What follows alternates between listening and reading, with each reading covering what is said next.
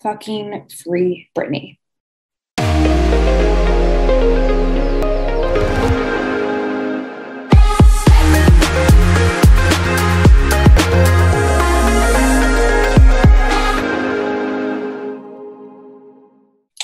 Spicier here.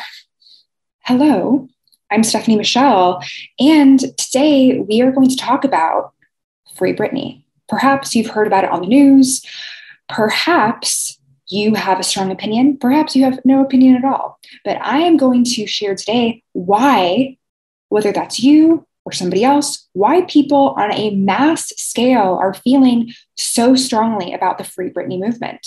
But first, let's think back to when we were children. When you were a kid, you didn't have a lot of agency you relied on your caretakers to feed you, clothe you, take care of you the best they could, the best that they would.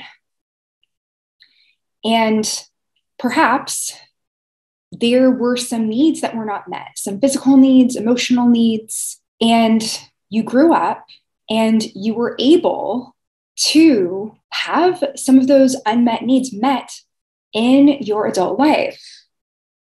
Vindication power, power over your own livelihood. The reason why so many people are feeling so triggered by the Free Britney movement is because when many of us millennials were in a space of very low personal power in our lives due to circumstance, the circumstance of being a kid, that's when Britney Spears was someone who we looked to as having so much power, so much agency, so much sex appeal, ownership of her body, ownership of her voice. Many of us watched her and were inspired by her or just liked her music, right? And now, modern day, the average millennial that grew up with that image is now witnessing that exact same person, now an adult older than we are, in a position that mirrors the exact same lack of power that we had when we were first introduced to her. Through many of our lenses, this is unfathomable, unacceptable. The idea that even within our own lives, we could revert that far back, but we're seeing it. We are seeing someone who has flown under the radar for so many years. Someone who was labeled, labeled things like crazy, labeled things like unstable to invalidate her experience and to enable people that ultimately weren't able to provide her with her best life experience to be in charge and to very possibly potentially most likely abuse that power that she once owned. And now, many of us are watching the proceedings unfold and even looking back from, let's say, a decade ago, when there were some fans who were also labeled, you know, crazy out there pick, with their picket signs said free Britney.